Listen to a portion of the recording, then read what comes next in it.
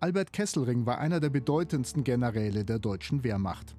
Kesselring war Heeres- und Luftwaffenoffizier, der während des Zweiten Weltkrieges verschiedene Führungspositionen innehatte und nach dessen Ende von einem britischen Militärgericht in Italien als Kriegsverbrecher zum Tode verurteilt und später mehrfach begnadigt wurde.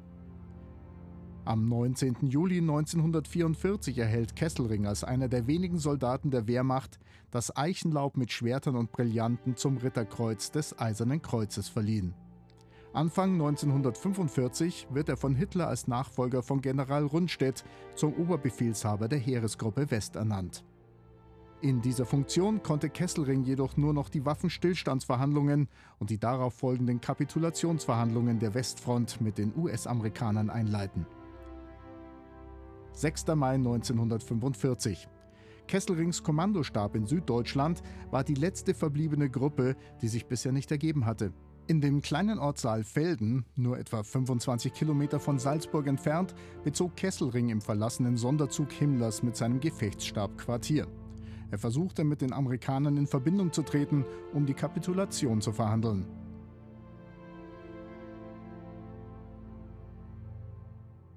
Etwa drei Tage später konnte er einen amerikanischen Offizier empfangen, der ihm mitteilte, dass ihn am nächsten Tag der Kommandeur der 101. Luftlandedivision, General Maxwell Taylor, aufsuchen würde.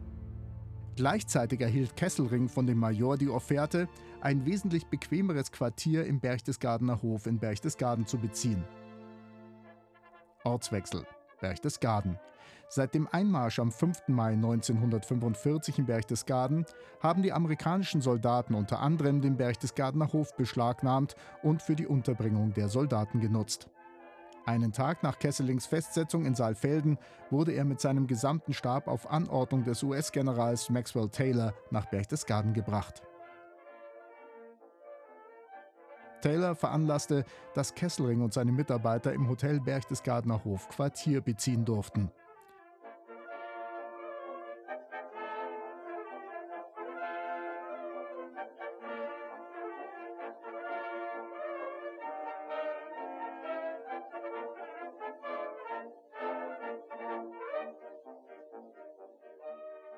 General Maxwell Davenport Taylor behandelte Kesselring überraschend freundlich und gestattete ihm, seinen Interimsstab, seine Orden und sogar seine Waffe zu tragen, wie diese Aufnahme zeigt.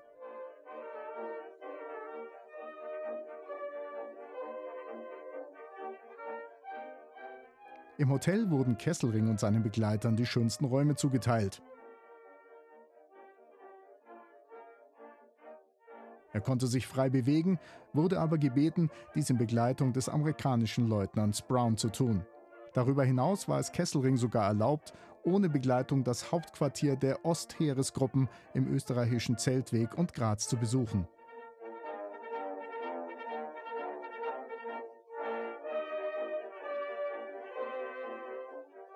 Diese Filmaufnahmen, die damals von einem amerikanischen Kriegsberichterstatter gedreht wurden, zeigen General Kesselring, General Taylor und Brigadegeneral Gerald J. Higgins in zwangloser Atmosphäre auf der rückwärtigen Terrasse des Hotels.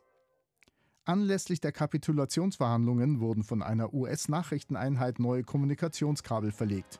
Vermutlich bis auf das Gelände der ehemaligen Reichskanzlei in Stangass, in der die 101. Airborne Division ihr Hauptquartier eingerichtet hatte.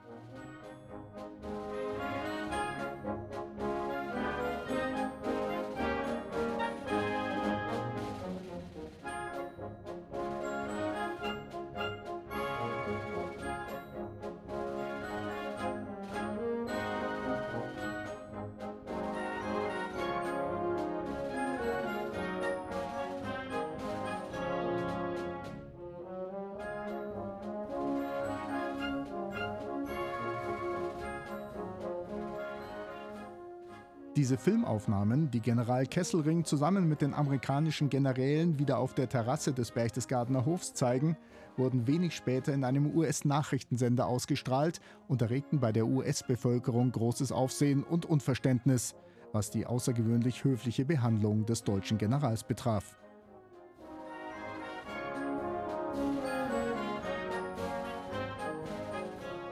General Taylor hier ganz rechts im Bild, war in den Jahren zwischen 1949 und 1951 Kommandeur der alliierten Truppen in Berlin. Ebenso kam es zu einem Treffen von Kesselring und Generalleutnant Jacob Devers, dem Kommandeur der 6. US Army Group. In den folgenden Wochen wurde Kesselring von verschiedenen alliierten Zeitungsreportern interviewt. Am 15. Mai 1945, eine Woche nach der bedingungslosen Kapitulation der deutschen Wehrmacht, wurde Kesselring über Augsburg ins Lager Mondorf bei Luxemburg gebracht. Am 6. Mai 1947 wurde er von einem britischen Militärgericht in Mestre bei Venedig zum Tod durch Erschießen verurteilt. Im Juli jedoch zu lebenslanger Haft begnadigt. Am 23. Oktober 1952 wurde er abermals begnadigt und vorzeitig aus seiner Haft entlassen. Am 16. Juli 1960 starb Generalfeldmarschall Albert Kesselring und wurde auf dem Bergfriedhof in Bad Wiessee beigesetzt.